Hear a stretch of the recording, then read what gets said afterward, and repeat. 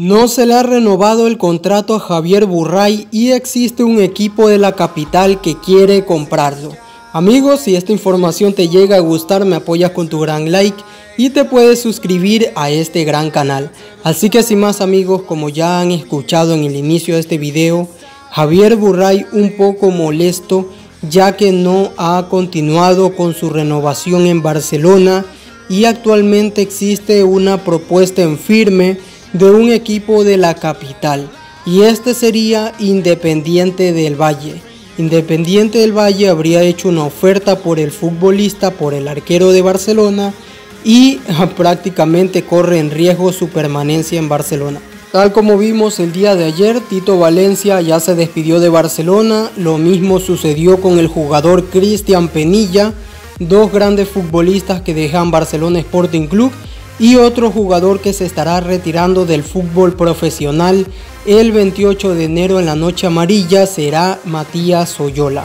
Matías Oyola deja el fútbol profesional y se estará retirando en la noche amarilla. Otra información amigos aparte de esta que ha sido grande, sigue hablando sobre la posibilidad de que Fernando Gaibor termine firmando por Barcelona Sporting Club para las próximas temporadas. Actualmente el jugador ya fue descartado por el club Sport Emelec, no está dentro de las pretensiones del director técnico y Barcelona hoy por hoy no cierra la puerta para que el futbolista termine llegando para esta nueva temporada y sin duda las pretensiones económicas que tiene hoy Fernando Gaibor son las que alejan al jugador de que termine llegando a uno de los dos equipos del astillero.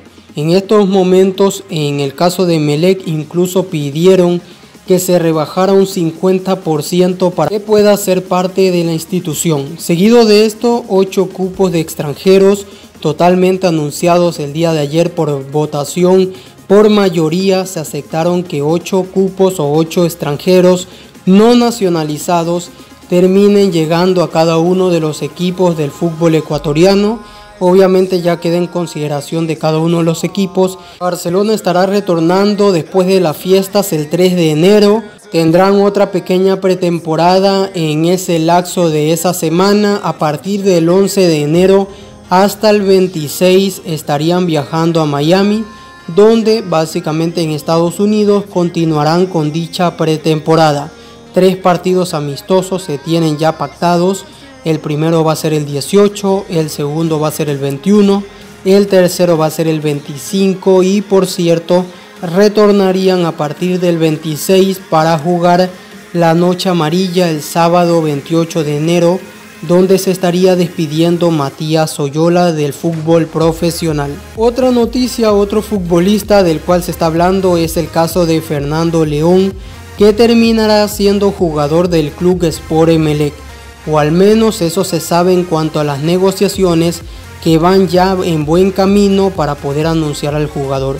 El caso de Cristian el Titi Ortiz, del cual se ha mencionado mucho en las últimas semanas, en los últimos días, de que pueda estar llegando a Barcelona, ya con esto de haber aperturado dos cupos más de extranjero, la llegada del futbolista Barcelona Sporting Club cada vez es más cercana. De antemano se ha mencionado que se estará anunciando un jugador en esta semana y se estará anunciando otro jugador, es decir, el segundo refuerzo antes de que termine este año. Así que antes del 31 tendremos información al menos de uno o dos futbolistas que reforzarían Barcelona Sporting Club. Otra noticia muy importante es aquella noticia de que Gol TV va a tratar de gestionar un partido amistoso o un conjunto de partidos amistosos donde los equipos invitados sería Liga de Quito, Barcelona Sporting Club, el Club Sport Emelec y también Sociedad Deportiva Aucas.